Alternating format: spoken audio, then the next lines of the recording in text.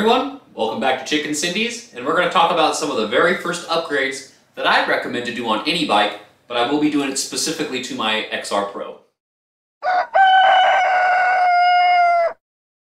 So as you can see, my uh, wonderful Mongoose XR Pro looks kind of disheveled right now. so I have it ready to go for the upgrades to go on. Uh, if you have not already watched my first ride on this bad boy, I'll put a little link to it in the corner for you. So feel free to check that out. But if you look at it right now, there might be a, a couple things that look not stock, wink wink, but there will be other videos on that. But today what I wanted to discuss was what I would recommend anybody to do on any new mountain bike. Now this is a bike that's going to be even a budget bike. This is going to be a bike that's a, a very nice expensive bike. It doesn't matter. And the very first things that I would tell anybody to upgrade are contact points. Now, Joshua, what are contact points? I'm really glad you asked, let me tell you. Contact points are points where you touch. Handlebar grips, saddle, and pedals. All of those are contact points, places where you put your arms, they change the way things kind of reach to you and that kind of thing. Also a stem is a form of contact point. I should have mentioned that as well. Because you can get a bike such as the XR Pro that has a like a 90 millimeter zoom stem. I think it's 90 millimeters. Hang on. Say it's obnoxious. Check that bad boy out. So this is the stock stem on the, the XR Pro. And this is the stem I'm going to. Pretty significant difference.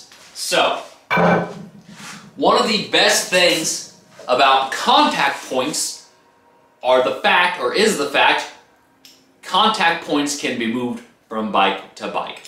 So bikes are going to come with whatever components they come with, such as stem length, handlebar rise, handlebar width, that kind of stuff, what type of grips they come with, what kind of pedals they come with. Typically, most bikes come with just plastic, very cheap generic pedals and those aren't very good to ride on, especially if you're going to take them on the trail. So, I'm going to go over all the contact points that I'm actually upgrading, and I want to go into just a little detail over why I chose them and that kind of a thing. So, we'll start with the stem. So, as you can see, I have a very cool JG bike stem. Got this off of Amazon. It was right at $10.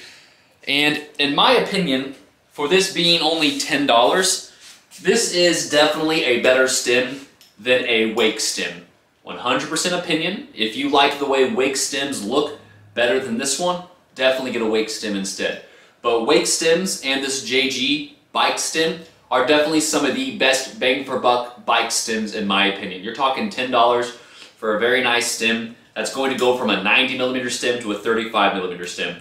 I think that is awesome. So the next upgrade I'm going to install are these Nukeproof Neutron handlebars. These were the stock handlebars that were actually on my Vitus Mythique, but these are 760 millimeters wide, and as you can see, they have this sort of upsweep. So these are the style handlebars I like. These were the stock handlebars from the XR Pro. Very, very straight, cross-country style.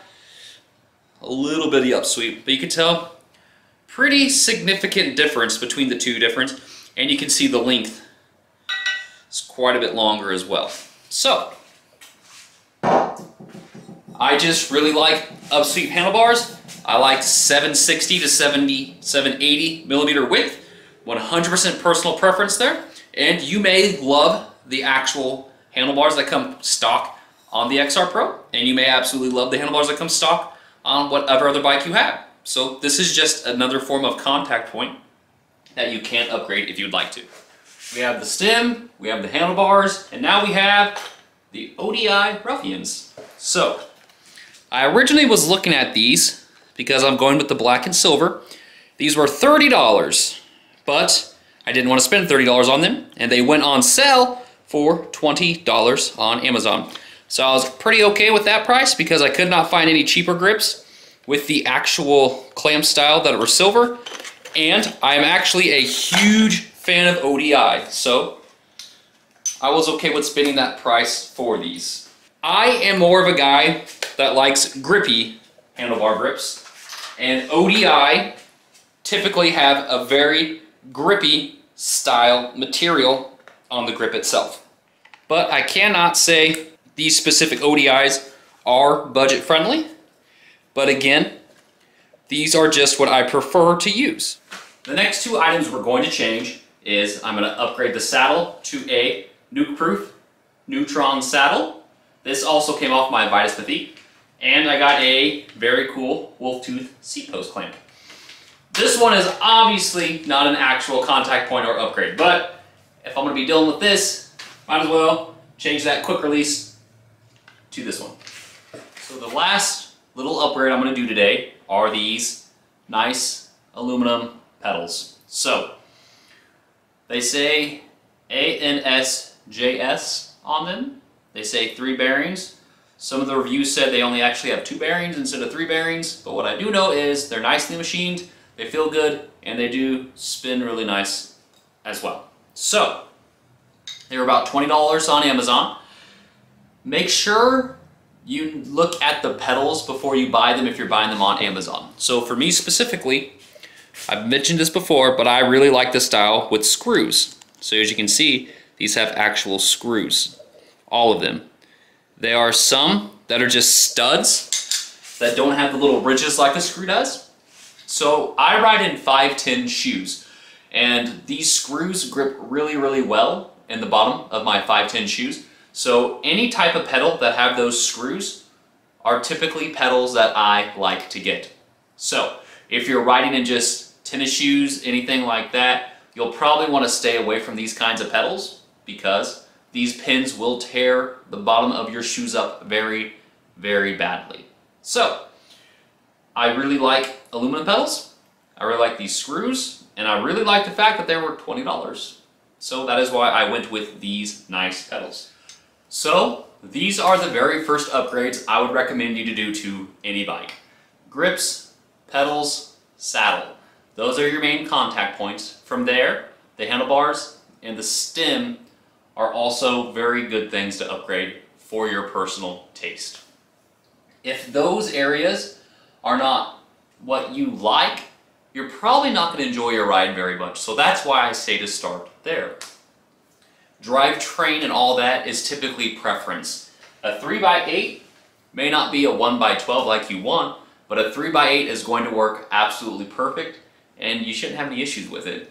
But with contact points and that kind of a situation, if you don't like it, you have to change it. So that is why I do recommend to start with contact points as a preference and when you're upgrading any form of bike. Well, this Mongoose XR Pro is really coming along nicely.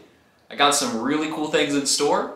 As mentioned, I'm sure you see two specific things on this bike that I have changed that I did not talk about in this video, but I have a very, a very special video coming up to discuss those two things. So, if you have any questions, please put them in the comments. But as usual, thank you so, so very much for tuning in, and until next time, take care.